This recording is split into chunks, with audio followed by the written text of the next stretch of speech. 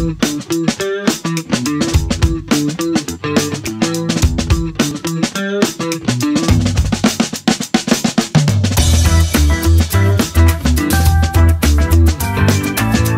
guest today is Heather Downing. Heather, how are you? I'm excellent. How are you, David? I'm doing really, really well. I, uh, considering how crazy the world is in 2020.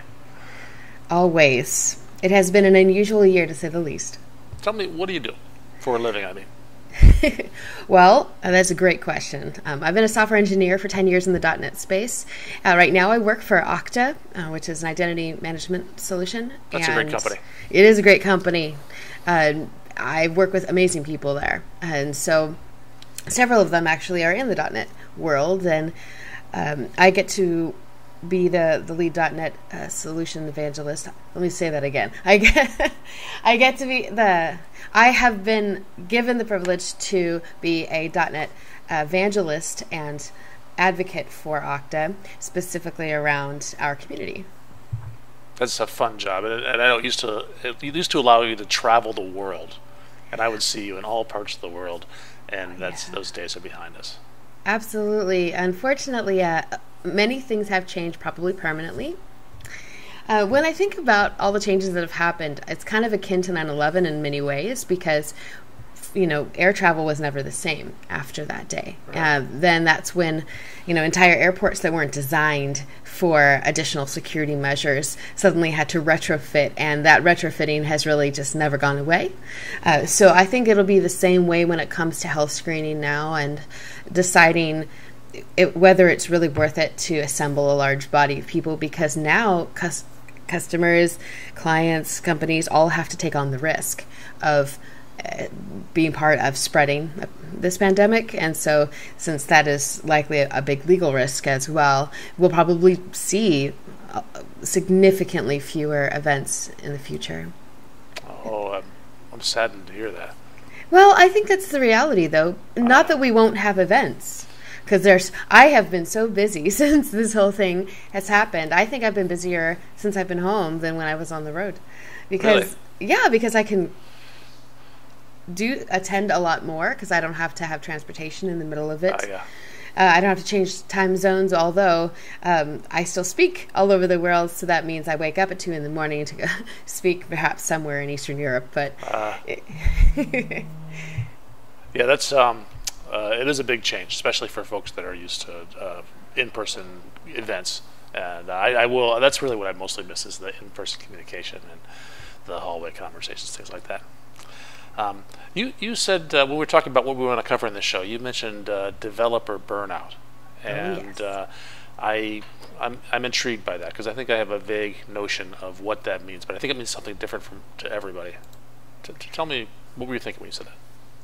That's a great question. So, to address burnout, you kind of have to know what it is, right? Yeah. Um, technically, it's a. I'm going to read this so that I can sound very intelligent. Uh, burnout is a state of physical or emotional exhaustion that also involves a sense of reduced accomplishment or maybe even loss of personal identity. So it's you often do sound intelligent when you read that. I know. I mean, read Wikipedia, you, you're good to go.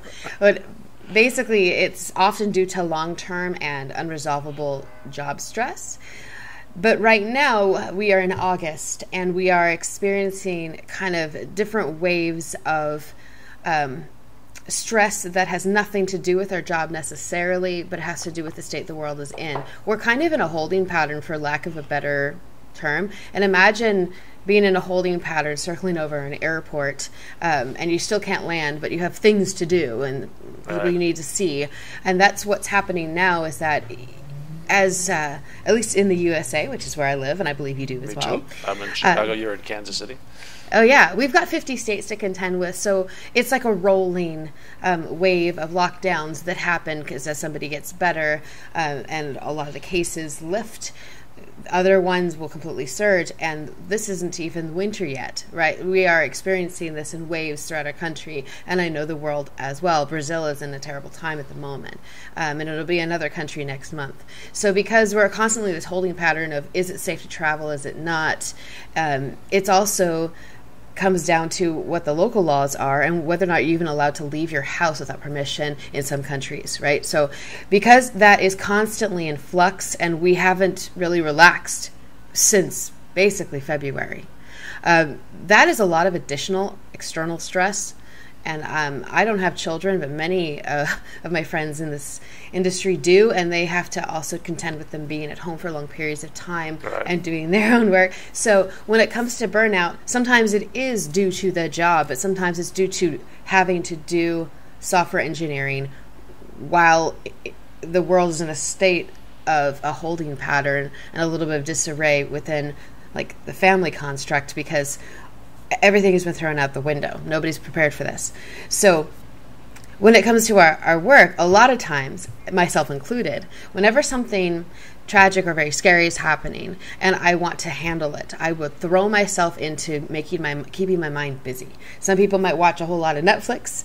I build a whole lot of applications and write a lot of code. And so by doing that, I was able to stave off a lot of the feelings of fear and anxiety because I was busy. So I busied myself with work. And if you know anything about the, security world and the um, uh, identity world, I mean, Okta has really taken off, especially That world is all this. about fear and anxiety. it is fear and anxiety for sure, but uh, but Okta has really just grown tremendously, and my role and everybody else that works with me has definitely had a lot of opportunities to make improvements to our system, and because our, we're growing, right, we're we're adding more customers all the time, we haven't slowed down from this pandemic at all. So Right. when it comes to that, I had an option to throw myself into it. But I noticed a common theme among hmm. several of my friends is that they're like, you know, I'm just really tired of Zoom meetings. And I'm really tired of doing this. Like I miss my friends, but I'm I'm tired of having to like have a thousand gadgets going all the time and do my work, but then also in the same place I do my work, sit and have, you know, real exchanges between humans on a friendship level basically means you never leave your desk. So whether or not you're working on uh, something related to your job or not, we are in front of our desks way more now for almost every aspect of our lives, and that also contributes to burnout. So uh, I do feel like there is a level of exhaustion that I'm seeing across our industry um, when it comes to this. And I know myself, I, I mean, my birthday is coming up here very soon, and I'm looking forward to unplugging. I've never looked so forward to not bringing a phone with me That's in my your life. birthday gift to yourself is to unplug from your computer. It is. It is. And it's interesting. Um, even before this, uh, part of what I was seeing is that people who had like 20 years experience were describing the exhaustion levels they had with just trying to keep up with the changes in the .NET ecosystem, let alone the rest of the technology world. Yeah. I mean, just in a few short years, we have autonomous driving vehicles. Oh my goodness! And then all of a sudden, that you know, the ethics of that come up, and then we have to start thinking about this, the code that we ship. And then uh, a lot of DevOps is starting to be blended into our job as well. So now you have to have a, a working knowledge of Docker. And on top of that, um, there aren't a lot of, unless you're in a very large company, there aren't a lot of database administrator only jobs anymore. You are that as well. So you have to make sure that you have an idea of how to keep that data safe. And then uh, to top it off, you will oftentimes, when you go to work at a new job, not have that handoff from the person who was there before. And it depends on how good of a documenter you were of your code, but most developers are in a hurry and they tend not to document. So that can be just a lot all laid on your lap. And while I think there are incredibly capable people, such as yourself, in this industry Thank that you can for saying so. of course, they can both teach and code and do. Um, that's a lot in the lap of a person. I don't care how smart you are. Yeah, Um, uh, that pressure to learn, constantly learn new skills and incorporate them into your job. That's that's the best and worst part of this job, I think. You know, I, I you and I love to learn. I think, uh, but still, it's work. It's pressure. It is work and it is pressure. Um, it's not made easier by uh, the demands that are placed on this role because everybody wants a senior developer. Nobody wants a junior. Um, but God bless, they have really saved many companies' butts when it comes to grinding some not so attractive looking coding situations. And I've definitely been through that. So there are a couple of um, symptoms that I've that I, I, I, kind of took from Coding Mindfully's blog that I wanted to share. And. If yeah, I'm not a doctor. Obviously, burnout is not the same as like a psychologist telling you that you're burned out. You, I think you pretty much know if you are. Uh, very Yeah. close friends of I- mine in the industry kind of understand they are. But just in case you don't know, I like this disclaimer. It reminds me of Jeff saying, "I'm a lawyer, but I'm not your lawyer. exactly. I'm not even a doctor, and I'm not your doctor." I'm a student of psychology. I have no idea what I'm doing, but I, I like studying it. Yeah. Um, okay, so they did a survey of like a, about 55 developers, if they knew, and they kind of put together a checklist of things that are symptoms, right? okay. Okay, so a few of them are cynicism or feeling critical of the whole idea of even writing code. Uh, i've met that guy. yes. This could show up as like repeated negative thoughts or statements about building software or writing code. Um, that manifests itself very often on Twitter or Stack Overflow, um, where if everything is constantly negative, you're really just not enjoying yourself when you're doing this. Another one is the lack of the necessary energy needed to even get your work or other coding projects done. So, feeling like it's difficult to physically write code or to find the mental energy required to organize your thoughts. Uh, I mean, I'm seeing that right now even for people who don't claim to be burnt out, right? And of course, lack of motivation to turn up the work, you know, like Turn up. yeah, turn up to do the work. Like you, you're like, ah, I really don't feel good today, and it's totally valid. You don't, but sometimes you know, your subconscious brain just says, I need a break, and I'm going to make you feel sick so that you take a break, and that is proven that happens. Anxiety does that to many people, but in this to case. Oh yeah. Oh my goodness. Anxiety is a whole other topic. Uh, when it comes to this, it's definitely you just as you think about the work, you are exhausted as if you've already done it. You know, and then that kind of saps all your energy. Um, sometimes it's unnecessary or repeated irritation or anger at your coworkers. This one snuck up on me unexpectedly. I mean, I work with am- yeah, I work with amazing people, but when I was just in a place where I was feeling overwhelmed and you know, then I, something else was piled on. Um, last minute, I, I kind of said something snarky. Now, that's not really my style. I tend not to be a snarky person. I tend to. I tend to try and be decent human, right? Uh, but that, that surprised me to the point where uh, my coworker was like, "Hey, can we can we chat on Zoom real quick?" You know, I'm like, "Oh no, what did I do?" It turns out that uh, it was very obvious. I was wearing it completely all over my sleeve, and I'm not saying that you should keep it bottled up or not. They just noticed that something was wrong, uh, so pay attention to that. Um, avoidant or addictive behavior is another symptom. So, like substance abuse, excessive alcohol, overeating, uh, gaming to the point where you ignore your work um, is a way of coping with the demands that are placed on you. So that can definitely be something that um, I can say was was me. Uh, I didn't know it at the time, but uh, my father uh, had a little bit of history of alcoholism uh, that was not shared with us before he passed, and um, that definitely snuck up on me for a little bit. Where I would say it was a little bit more excessive, but I wasn't going out anywhere. I was just at home, right? So to me, it didn't feel like there was any danger. Um, but what I noticed is that it hit my pocketbook, right? Is that I, I realized I went through a certain amount of whatever alcoholic beverage it was really quickly, and and it was about the the third week I was um, that I was dealing with this pandemic in the early in the early months when we thought it was only going to be a month, right? Uh, um, that really hit me like financially, and I and I thought ah maybe that's a coping mechanism, and so I just talked to my therapist about it a little bit. But that snuck up on me because in general I wouldn't say that it's something that, that happens to me often. Right. Um, but I, I- apparently, it's also hereditary. That if you have anybody in your family history, that that actually is a way that your brain is sometimes hardwired to deal with stress. Um, and of course, the compulsion to overwork is a, is an, an interesting one too, because you have to overwork to compensate for that feeling of falling behind. You know, in the industry, I know that it's almost like a worry that sits on your shoulder, like like an evil Jiminy Cricket that says, "Hey, you know, everybody's talking about, uh, you know, this new way of, de- of dealing with APIs and you know why don't you know about this? Or hey do you know how far Xamarin has come now? Why haven't you built something in say, eight months? You know now you have no idea what's going on with that system. And so that definitely can hit um, your it's almost like a guilt trip you give yourself. Hmm. yep. And of course there's that sense that the project or team will fall apart without you Yeah. right feeling that that entire the entire success of the enterprise rests on your shoulders So alone if I take a vacation day, the the whole place is just gonna collapse without me there.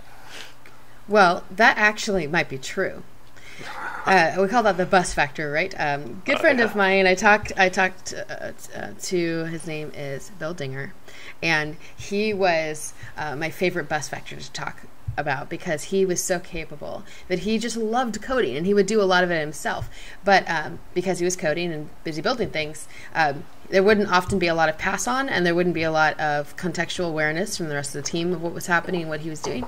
So if he got sick or if maybe he had to leave Or got uh, hit for- by a bus. or got hit by a bus, it's true that things probably would have fallen apart. So once we talked about that bus factor, um, he was so much better about at least sharing the context of the knowledge, Right. and that made it possible for him to I don't know leave for a week to go on a trip or something like that.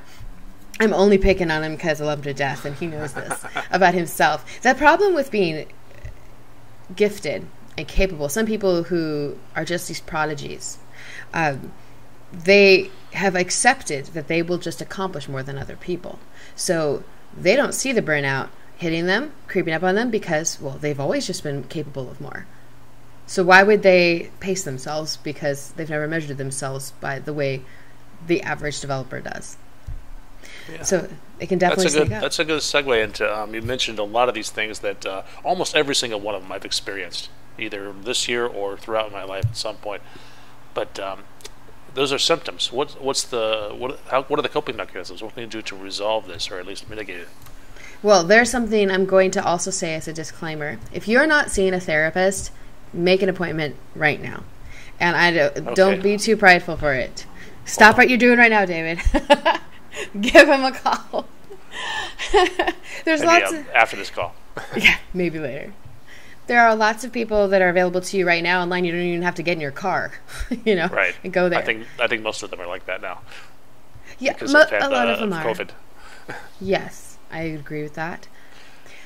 You have to start there because what you need is specific to your brain. But I can give you some generical, uh, generical. Listen to my words. That's the stress talking. I could give you some basic coping mechanisms that are probably pretty safe and what I've been able to do. Uh, so I've set myself um, because I didn't really need to set. It depends on whether or not you are doing overwork or you don't want to turn up to work. There's there are two different ways that um, two different symptoms, right? If I don't want to show up to work, which was the problem I was having, and please get this, I am so blessed, and I work with kick-ass people on a kick-ass product. Um, I just adore my boss. Like I have the perfect situation, and if I don't want to turn it to work, that must be burnout talking, you know, or some sort of thing going on. So make sure that you know, you, number one, you you talk to your therapist uh, and let them know what's happening, and they can specifically tell you how to cope. But what I have done to kind of pull myself out of this, and it has been very recent, so I can just share what it has been personally for me. I had to talk to different people than the ones I've been talking to. And when I say different, I mean not other cynical people that are also burnt out. I wanted to hear from people who were excited about doing technology. So I turned myself on to starting to talk to, just talk to them, talk to and mentor um, other junior developers coming out of a boot camp. And they think about the world in so many different colors and um, exciting with excitement. And they're like this is this is something that's super cool. And they wanted to talk about the hacking that happened at Twitter. And then they wanted to talk about how they would build this new VR game. And and it just reminds you why you did this in the first place.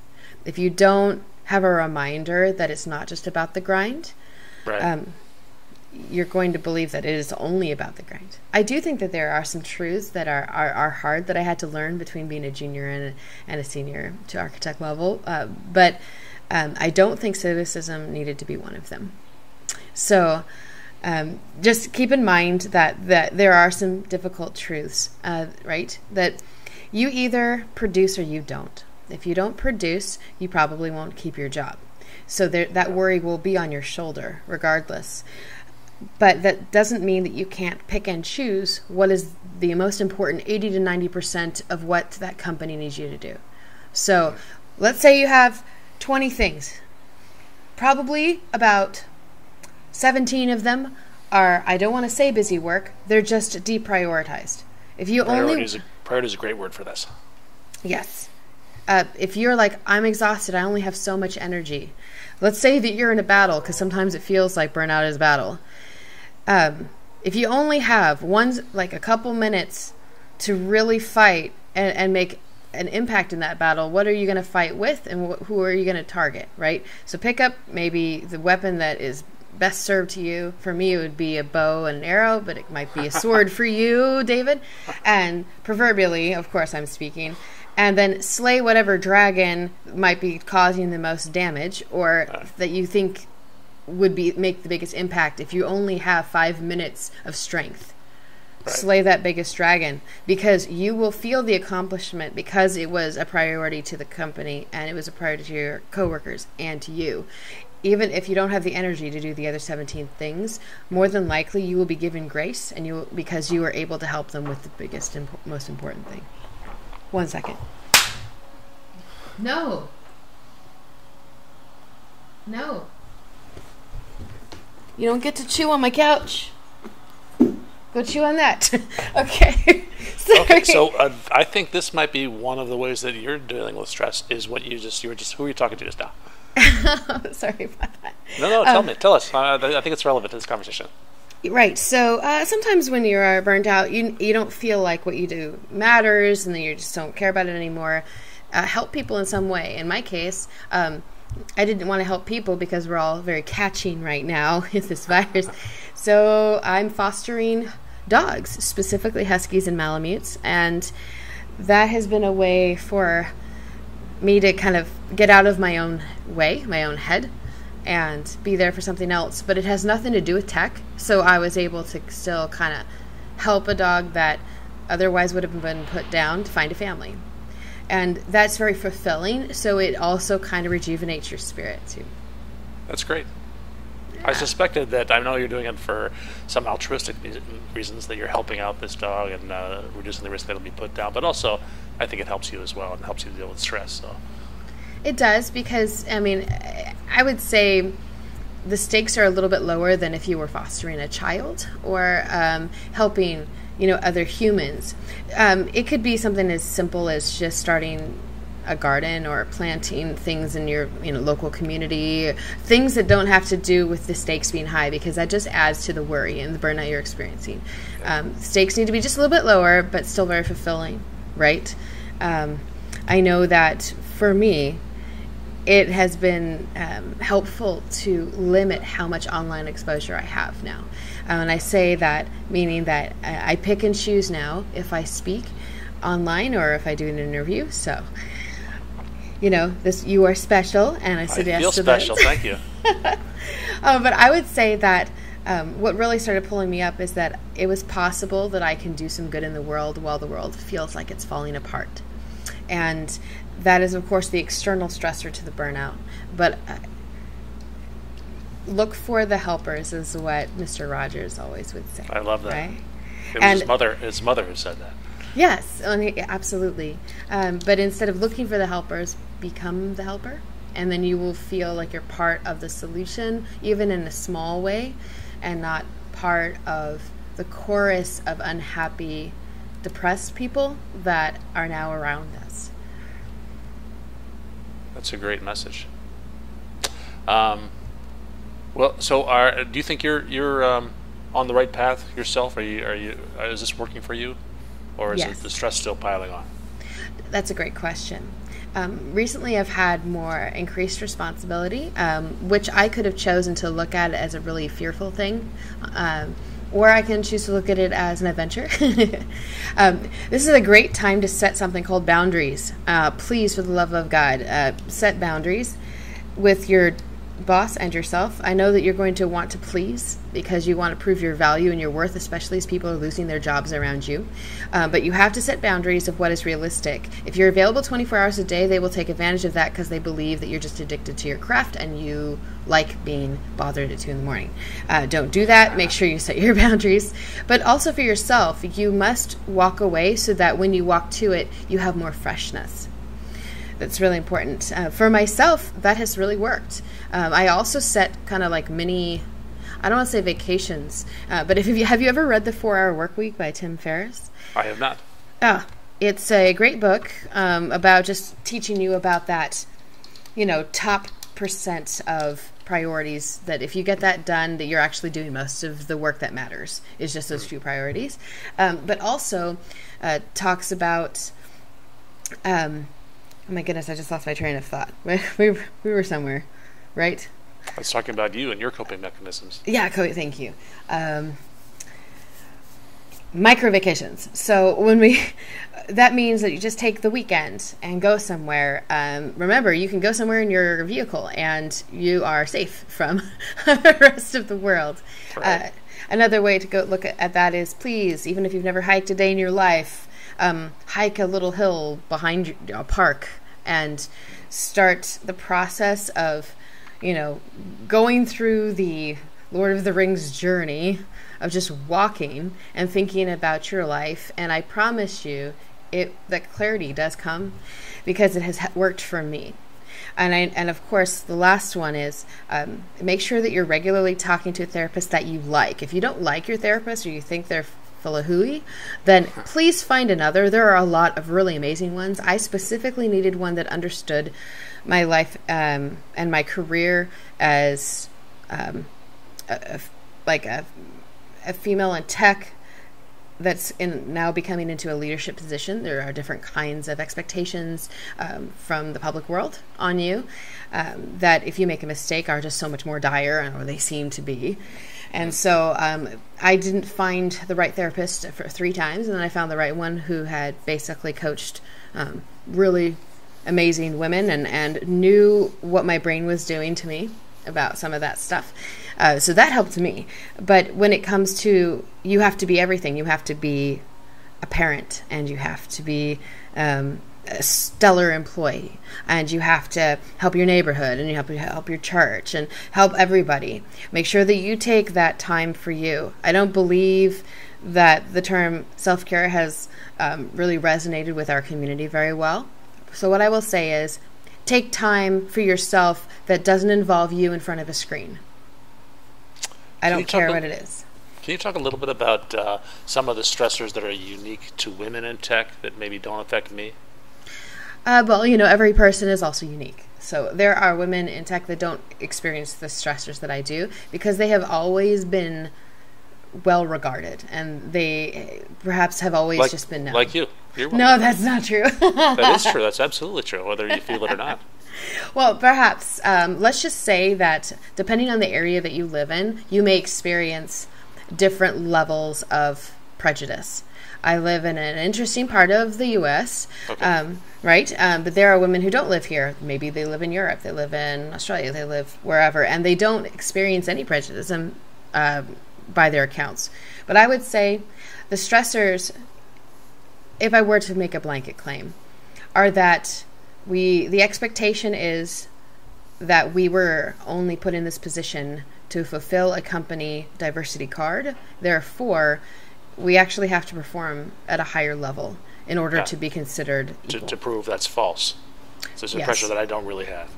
That's fair. Okay. Yeah. So, but that is, I, I would say that by and large, that is the thing. There's also um, different stressors when it comes to what is an acceptable excuse for um, absence. Uh, if let's say that you're you are burnt out, and you're not feeling well, but part of that is because you just became pregnant, or um, you have are the only caretaker in the family for like maybe your elderly parents, and that's not something necessarily that your husband would be expected to do, but you you are because they're your parents, not his. So there are there's like always the worry that well, would a man bring that that kind of inconvenience to the company? You know, and these are well hashed out, well known issues uh, that have plagued us for a long time. But that doesn't mean that they're not still part of our society, at least in America, right? So Right. those are, of course, additional ones um, to consider if you're a female. But honestly, at the end of the day, we're all developers. I, I really, um, I love celebrating our uniqueness, but we all kind of have the same problem, which is we fell into an industry that, uh, at least at one point, we loved. and sometimes it's been great to us, probably monetarily been great to us. And uh, we've been able to make something out of nothing and felt like wizards. But it also demands a lot of our attention, our time, but also our quality. If we don't ship quality code, that is like the worst sin, right? Is that we've done, done something bad. And uh, sometimes we flail ourselves for something that we didn't do as high as perfectly as maybe we could have. And of course, we don't help each other because we expect that of, of one another. So you try doing a pull request on a major SDK, you know, out there and see how that goes with all the comments. You know, there we hold everybody to a high standard because we have to. I mean, there's uh, our software is running those self-driving cars that are making the decision whether to, you know, swerve around a dog to hit the lady on the end of the street or roll into the ditch with the people inside of it. My goodness, what about the people who designed the software that ran on the Max 8 planes, on Boeing's planes, that had all those issues. I mean, we are writing software that makes a difference, even if you didn't with your one library. Your one library that might be a JSON parser could be used on one of those planes later on in the future. So uh, there is like a demand, kind of like like I wouldn't say as high as the medical profession, but it's pretty high up there. That we have demand and there are stressors because we don't want all of our code to fall apart. But we also understand, because we are in this industry, how much of the internet is held together with bubblegum and tape.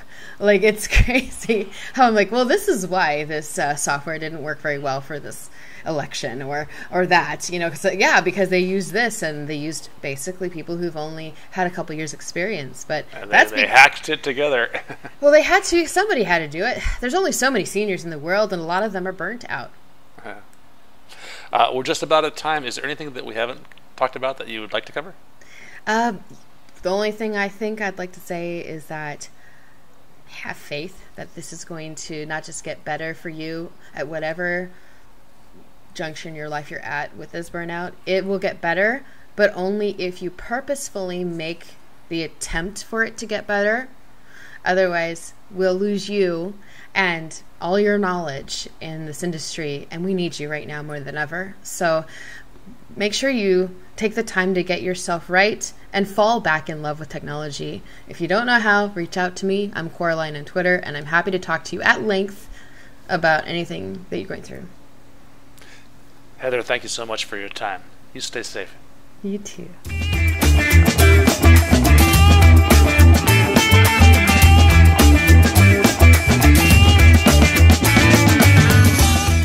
When you are burned out doing technology, remember all of the friends you've made in this industry and it'll reinvigorate you.